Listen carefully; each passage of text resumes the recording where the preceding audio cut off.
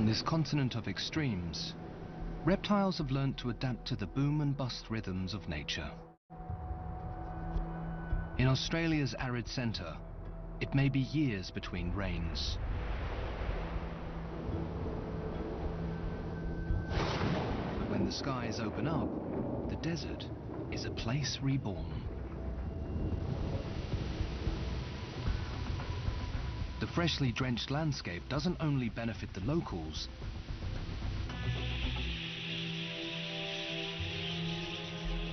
it attracts visitors that come to reap the rewards. Budgerigars swarm to the desert. Able to sense rains from thousands of kilometers away, they journey here in giant superflocks.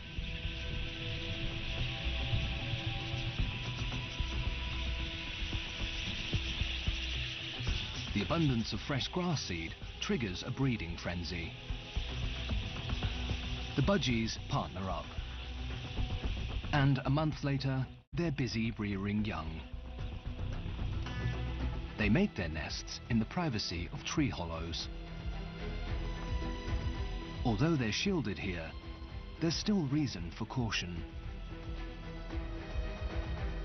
The Woma python is the desert's most notorious constrictor. It's usually a reptile specialist. But when there are birds in abundance, it will make an exception.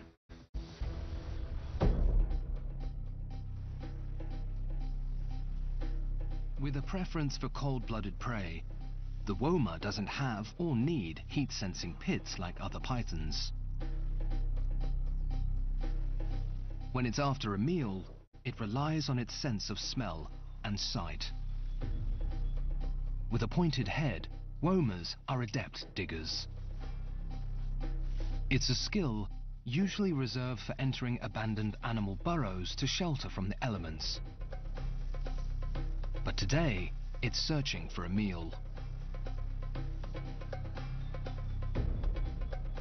A nest so close to the ground is a perfect target.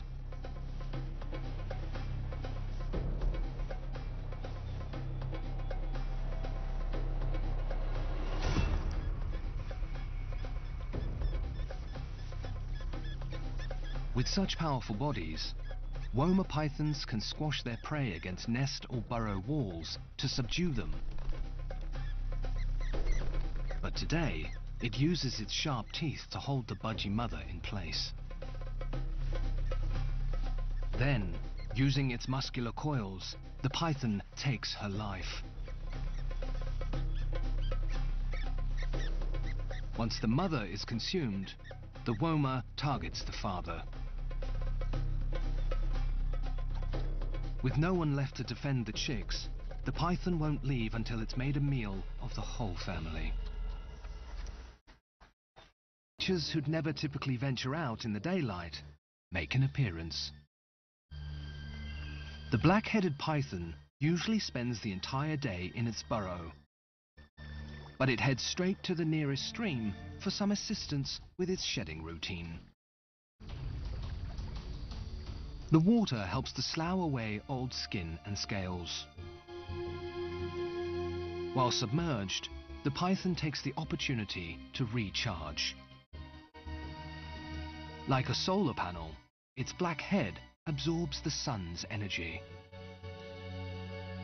powering it up to hunt down the influx of food brought by the rains.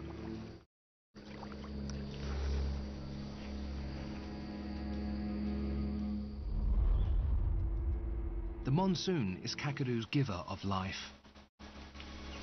But unfortunately, it can welcome some unwanted residents. During wet times, invasive cane toads breed in epic proportions. Females are capable of producing over 70,000 young a year. Since the toads were introduced to Australia in the 1930s, they have decimated native animal populations. Armed with venom-secreting glands, they're lethal to most creatures who encounter them. Some of the most vulnerable to their toxins are snakes that try to make a meal. However, one snake species has an extreme adaptation to deal with this extreme intruder. The keelback snake is entirely venomless, yet it can eat the cane toad and survive. Incredible new studies reveal that the keelback has rapidly evolved into a toad-killing machine. In less than a century, the keelback's bodies have gotten bigger to metabolize their prey's toxins. And their heads have gotten smaller to limit the intake of food. The smaller the toad, the less poison to digest.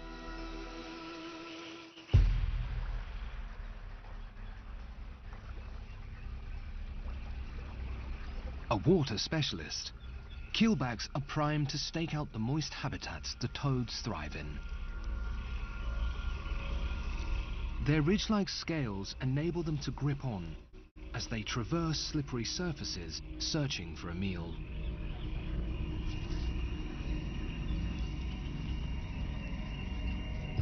As the toads invade in plague proportions, food is never far off.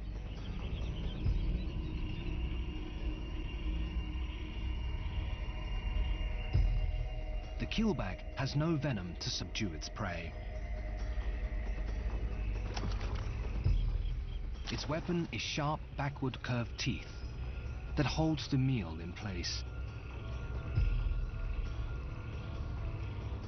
Unlike other snakes that swallow their food head first, the keelback does the opposite. It's thought that devouring the toads from the rear may be an adaptation to assist in detoxification. As humans struggle to control the worsening toad invasion, perhaps the death-defying keelback will be part of the solution.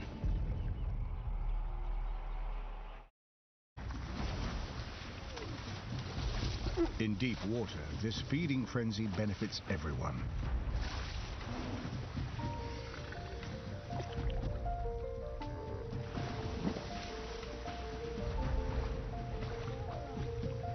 Individuals use other crocs to pull against to tear off mouthfuls.